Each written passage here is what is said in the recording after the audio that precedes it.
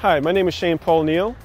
I'm assistant coach at City Coach Multisport. City Coach works with a variety of athletes, ranging from sprinters all the way up to triathlon, marathons, and swimmers. I've been with City Coach since roughly 2002 when the company first formed. My good friend Jonathan King was the head trainer for the New York Police Department and decided to strike out on his own. Uh, we started out with a couple of coaches and getting folks into just running basic 5Ks and getting out into the park in general. Since then, we've expanded from working with just novice athletes all the way up to elite level athletes, including world champions and others. Track and field in general, and sprinting in particular, have been a long-standing passion of mine.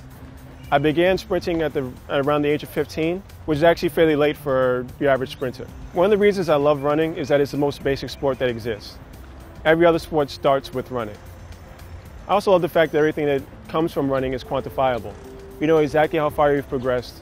You know exactly what you've achieved with every footstep. I've been coaching runners for roughly 15 years, starting with young school-aged children and working my way up to elite level athletes, whether they be sprinters, distance runners, or anything in between. My main focus is introducing speed and technique for runners to give them proper form and help their times overall. If you'd like to find out more about what we do at City Coach, please visit us at citycoach.org or if you have a direct question, feel free to email me at shane at citycoach.org.